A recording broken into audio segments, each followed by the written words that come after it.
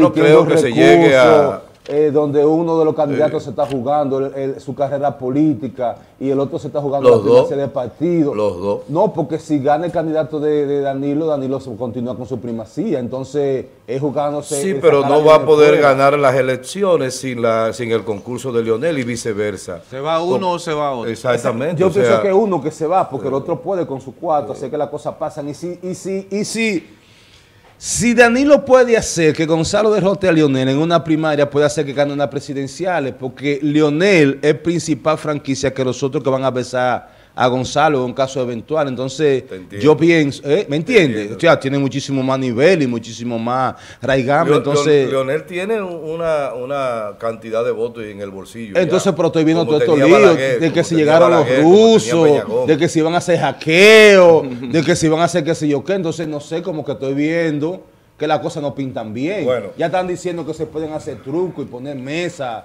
sin que Bueno, mientras